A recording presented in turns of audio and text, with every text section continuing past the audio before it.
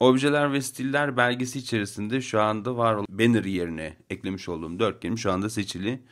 Ve buna ait layout paneli üzerinde sayfaya nasıl yerleşeceği ile alakalı bilgileri görebiliyor. Bu bilgileri bana sağlayan özellikleri dilediğim gibi değiştirebiliyorum. Örnek olarak %100 olarak soldan sağa doğru bir genişlik varmış. Bu da konteyner içerisinde tam olarak sığdığını gösteriyor. Yukarıdan aşağı doğru yüksekliğini de burada hemen 258 pikselmiş.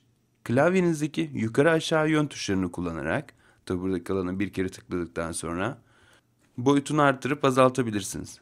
Yine klavyedeki shift tuşuna basılı tutarak yukarı aşağı yön tuşlarıyla 10 piksellik adımlar halinde yine daraltmalar veya genişletmeler yapabilirsiniz.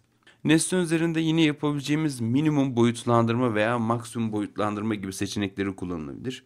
Bunlar sayfa 768 pikselde veya 450 veya 200 piksel genişliğindeki ekranlarda da olduğunda en fazla ne kadar küçülebilir onu buradan belirtebiliriz. Çünkü bu şu anda bir dörtgen ama biraz sonra anlatacağım bir görsel içerisinde eğer bir yazı varsa o yazının okunmamasına neden olabilir. O yüzden buradaki minimum ve maksimum ayarlamaları hazırlamış olduğunuz ortam yapısına göre değişkenlik gösterebilir. Hatta buradaki objeler bile değişebilir. Evet default yapısına geri dönüp aşağı doğru devam ediyorum. Margins ve padding ayarlamaları yapılabilir. Veya bu nesnenin daha gelişmiş seçenekleri olan float ile sayfa içerisinde nasıl konumlanacağını, daha doğrusu nereden, hangi kenardan sabit kalarak hareket edeceğini belirtiyoruz. Burada sol kenara göre sabit kal dediğimizde sol kenara göre büyüme işlemi yapacaktır. Ancak bunu merkeze odaklı olarak yapmamız bizim için daha doğru olacaktır. Alt tarafta clear başlığı altında eğer nesnemiz sayfa boyutu küçüldükçe bir alt satıra atabilir. Sola doğru hizalanabilir, sağa doğru hizalanabilir veya aradan çekilip aşağı doğru inebilir. Buna benzer ayarlamaları yine bir obje, bir dörtgen üzerinde de yapabiliyoruz. Styling bölümüne bakalım. Styling bölümünde bir background rengi verilmiş. Bu rengi dilediğimiz gibi değiştirebiliriz. Rengi seçerek tonunu ayarlayabilir veya opasite bile verebiliriz. Alt tarafta da kod formatında renk değerlerini girmek mümkün. Yine buradaki renklendirme için kullanabileceğimiz bu nesne içerisine bir imaj ekleyebiliriz. Veya bir gradient de eklemek mümkün. Gradient'i de şu şekilde siliyorum. Alt tarafa doğru indiğimde ikinci özelliğimiz daha doğrusu stilimiz borders yani dış çizgiler. Bu dış çizginin köşelerde yumuşaklık getirip getirmeyeceğini de buradan ayarlayabilirim. Örneğin eksi 50 piksellik bir yumuşatma verdiğimde buradaki gibi görünüm sağlayabilirsiniz. Yine tıklayıp yukarı aşağı yön tuşlarıyla buradaki değeri daha piksel piksel yani adım adım buradaki değeri ayarlayabilirsiniz. Burada ilk satırda yapmış olduğum ayarlama dikkat ederseniz alttaki dört yapıyı da etkiliyor. Bunlar her köşe için ayrılmış alanlardır. Eğer bu alanlardan örneğin sağ üst köşe sıfır olsun ve sol alt köşede sıfır olsun yani keskin köşelere sahip olsun gibi bir seçimde bir işlemde yapabiliriz. Radius ile vermiş olduğumuz eğimlerin yanında bir dış çizgide nesne üzerine ekleyebiliyoruz. Bu dış çizginin renginin nasıl olacağını, bunun öncesinde rengin hangi köşeye uygulanacağını da dahi seçebiliyoruz. Yani şu anda dört yönde uygulama seçili. Ancak örneğin sadece üst kenar çizgisine uygulanmasını istediğimde burada bir renk seçelim. Evet. Ve piksel değerimizi biraz artıralım. Gördüğünüz gibi sadece üst kenara uygulanmasını sağlayabiliyoruz. Bunu alt kenara ayrıca yine başka bir uygulama olarak da ekleyebiliriz. Buradaki dış çizgi yapısının nasıl olacağını solid şu anda düz tek düze geliyor. Daşıt olabilir veya çift çizgi gibi farklı seçenekleri de burada kullanabilirsiniz. Bunları kaldırabilmek için köşedeki çarpı işaretine basarak özellikleri kaldırmanız mümkün. Şurada da bir tane varmış bakın etrafında hafif bir e, glow gibi bir ışıma var. Onu da seçip burada ona verilmiş olan değeri de kaldırıyorum. Alt tarafta shadow e, verebiliyoruz. Shadow'a tıkladığımızda nesnenin dışına veya içine doğru gölgeler verebiliyoruz. Bu da çıkıntı veya girinti olmasını sağlayan bir görsel etken. Color bölümünde gölgelendirme için renk verebilir. Offset bölümünde gölgelendirmenin ne tarafta olacağını sağdaki ayarlamalardan X ve Y ayarlarını haricinde buradaki daire tutarak da ayarlama yapabilirsiniz. Blur değeri gibi ayarlamaları da yaparak bir gölge eklemek mümkün. Burada eklemiş olduğum gölgeyi kaldırabilmek için sağ taraftaki çarpı işaretini tıklayarak kaldırıyorum. Son olarak bu nesneye bir de opasite yani alfa değeri verelim. Bu alfa değeri de burada da gördüğünüz gibi 1 olarak yani %100 hali 1 olarak karşımıza geliyor. 0 nokta küsur itibariyle de direkt burada opasitenin rakamın büyüklüğüne göre opasitenin fazla olması veya az olmasını sağlayabiliyoruz. Buna benzer işlemler diğer nesneler için de aynı şey geçerli. Layout bölümüne baktığımda bir dörtgen için yapabileceğim bütün sayfa içindeki hizalama seçeneklerin aynısı metin kutusu içinde geçerli.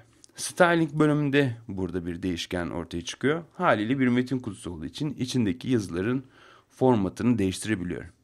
Yazıları değiştirebilmek için yeni bir font tipi ekleyebilmek için ilk anda baktığımda şu anda default internet ortamında hazır değer olarak kullanılan font tiplerini burada görebilirim. Ancak Creative Cloud üyelerine ücretsiz olarak sunulan ve font seçeneğiyle siz de Adobe'nin Typekit ile sunmuş olduğu o lisanslı fontları ücretsiz olarak kullanabilirsiniz.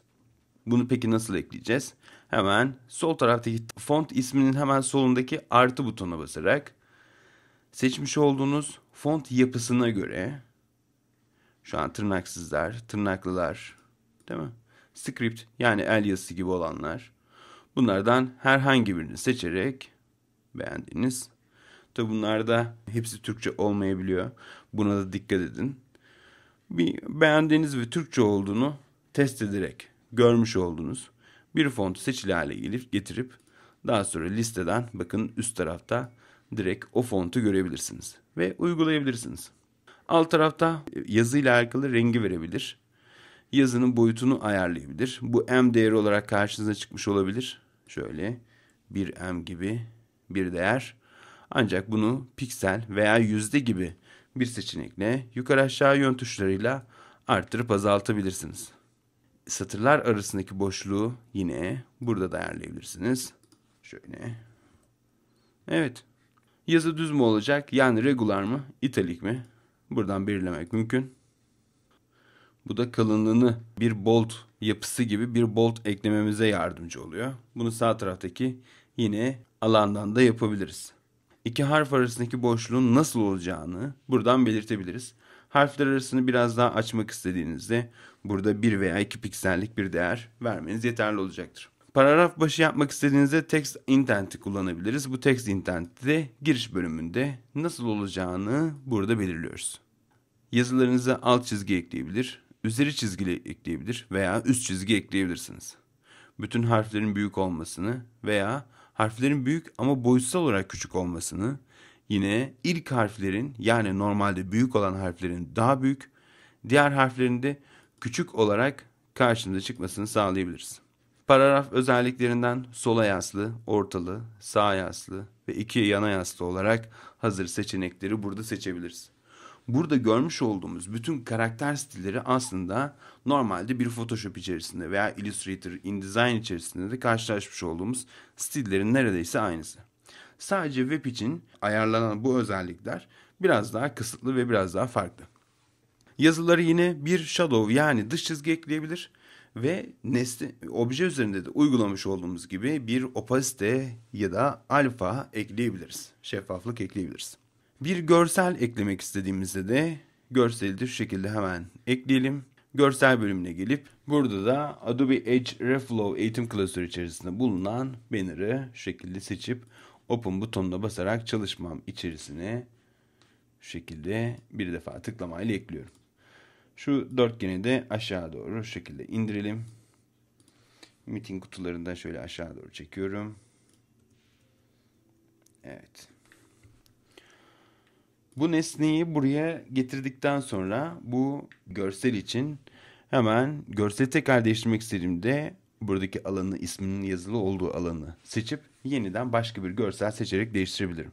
Ra- Borders bölümünde radius başlığı altıyla köşeleri yumuşatma verebilir veya farklı kenarlara dış çizgiler ekleyebilirim. Yine bir gölge ve opasite eklemek de bu görsel içinde mümkün. Bu tür nesneleri yapmış olduğumuz değişiklikleri, üzerine vermiş olduğumuz daha doğrusu özellikleri nesne seçiliyken hemen alt tarafta alt kenar bilgi alanında bakın bu nesneye ait bütün CSS bilgilerini burada görebiliyoruz. Bir metin kutusu içinde baktığımız zaman yine aynı şekilde buradaki özellikleri de görmek mümkün. Bunları direkt nesneyi seçili hale getirdikten sonra alt taraftaki alandan buradaki değerlerini rahatlıkla görebilirim. Ancak birden fazla nesneyi seçip işlem yapamıyorum. Yukarı doğru çıkıp buradaki alanlara ait nesneleri, özelliklerini tek tek görebilir ve uygulamalarını buradan almış olduğum CSS dosyalarını direkt uygulamaya geçirebilirim.